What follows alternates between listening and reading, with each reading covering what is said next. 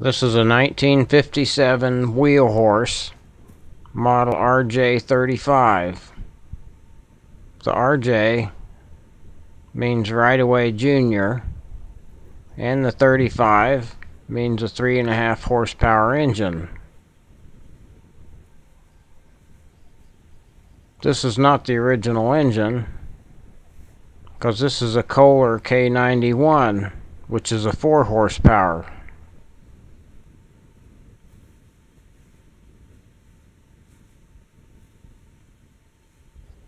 These tractors have a variable speed belt drive. This is before they made the three-speed transmissions, which came out in 1958. The 1956 wheel horse would be quite similar, although the wheels were painted black in 56. On these Kohler engines, when you start them cold, I like to turn the throttle all the way down and then turn it up slowly until you see the throttle linkage reach the full open position at the carburetor. Usually that's about halfway on the throttle lever. Then you want to have the choke turned on all the way and you pull the cord. So you want to be ready to take the choke off right away as soon as it starts and let it run at half choke for a little bit to get warmed up.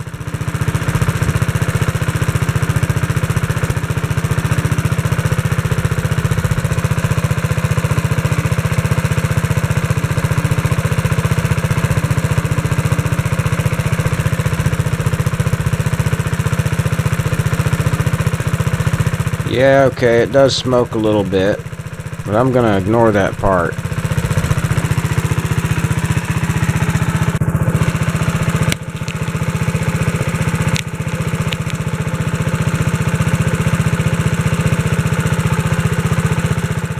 Something worth mentioning about these early tractors is that brakes were an option. This particular tractor don't have brakes on it, and with this type of a drive system, that allows you to freewheel downhill, forward or backward. The optional brake system was made so it bolts on the outside and would just work on the left wheel. Here I'm trying to get it to go in reverse, but the drive pawls in the rear hubs are a little bit sticky, so they're not working properly. I'll have to fix that later.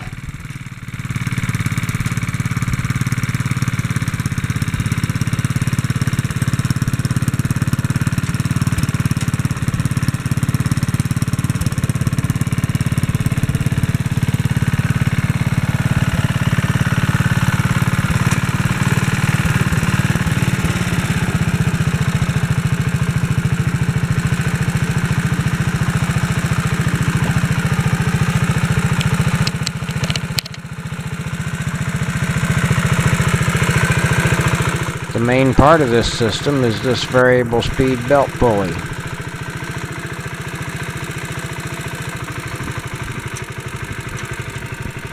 It's controlled by this lever on the side. When the lever's in the rearmost hole, that's neutral, because it moves the pulley down far enough to disengage the belt. Move it to the second hole, and that's the slow speed. Each hole you move to above that gets faster, just because it's changing the pitch of the belt pulley.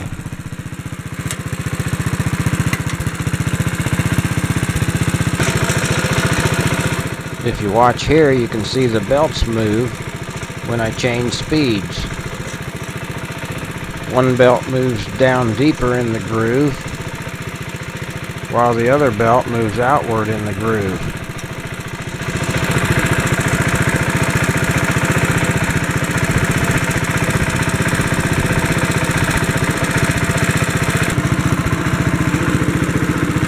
Here you can see it come slowly to a stop because it freewheels and don't have brakes.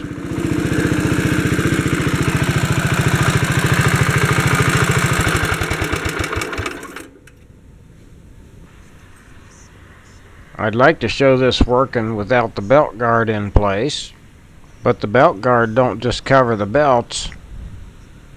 It also has this piece on the bottom which cradles the belt and allows it to not touch the pulley when it's in neutral. Without this guard on there, the belt would not disengage properly. So I came up with this other plan. I have the rear of the tractor on blocks so the wheels can turn safely. And over here, I made a belt guard without the guard. So this piece of metal here duplicates the part that's on the bottom of the belt guard and that's going to hold the belt in place for me just like the belt guard would.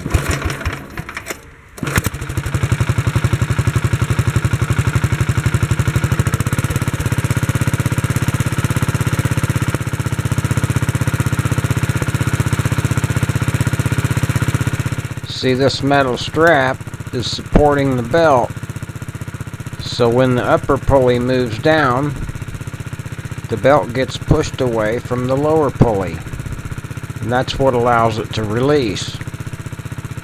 As I move the lever forward you can see that rod on the bottom is pulling the arm forward which forces the variable speed pulley away from the engine pulley. That causes the center sheave of the variable speed pulley to shift sideways, changing the effective pulley diameter, which changes the drive ratio. The spring that you see at the bottom is an important part of this mechanism because it keeps a fairly consistent tension on the belts throughout the drive range. To get reverse on these tractors, you pull the lever all the way back. That lowers the variable speed pulley until it contacts this brass ring that's behind the drive pulley on the engine. And that's what turns the pulley in the opposite direction. It's a fairly crude system, but they didn't expect you to be going in reverse very much.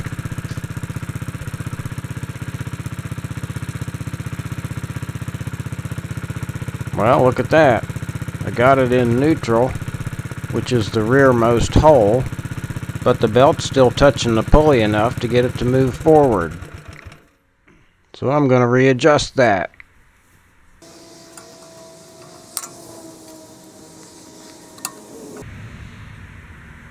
To adjust it, I'm going to take out the front part of this bar and screw it out two turns so it's a little bit longer. Then when I'm in this neutral position hole, the pulley will be slightly lower.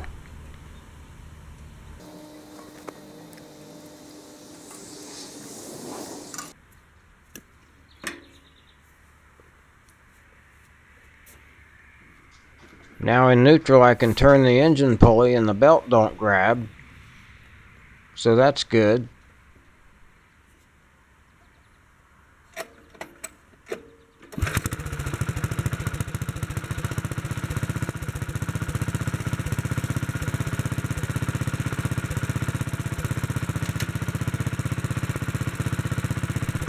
And if you move it to the first hole, it appears to be fully engaged and not slipping. So that's good.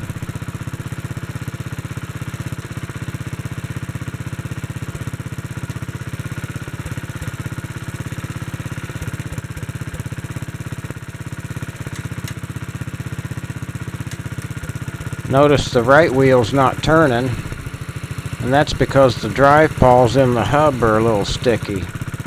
If they were working properly, the drive pawls would pop out when the axle started turning and the wheel would move.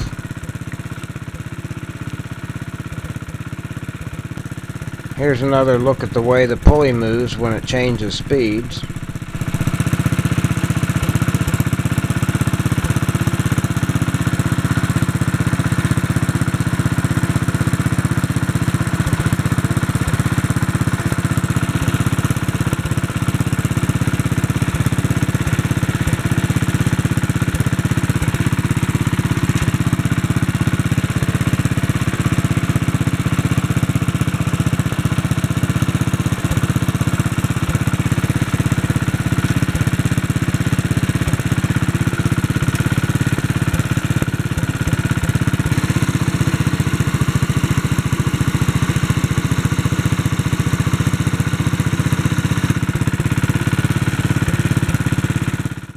You might have noticed that this pulley looks freshly painted, and that's because I just made it. This is a prototype. I plan on maybe selling some on my website and on eBay. There's four main parts to this pulley set. Here's a picture of the first part partially done. And here's a picture of the center shaft sitting on that partially done part.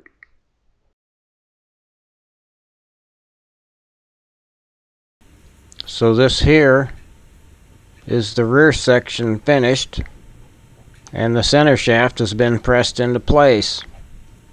The center shaft has a Woodruff key in it so that this center section can slide on the shaft and not rotate. And then the top section is pressed onto the shaft. The center section is trapped in between but can slide back and forth. They all get new needle bearings. That same part number is still available. All three parts that the belt rides on are made of cast iron, and the center shaft is made of steel. So this will be all identical to the original. On this original pulley set, you can see that they used a set screw, and it goes into both parts to lock them together, even though it's a press fit. I don't know if you have problems without doing that, but it's on all the ones I've ever seen, so they must have thought it was necessary. I'll be doing that to the ones that I sell, just to make them like the originals.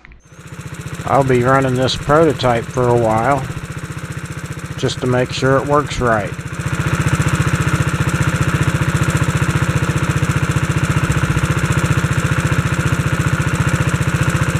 Alright, that's it.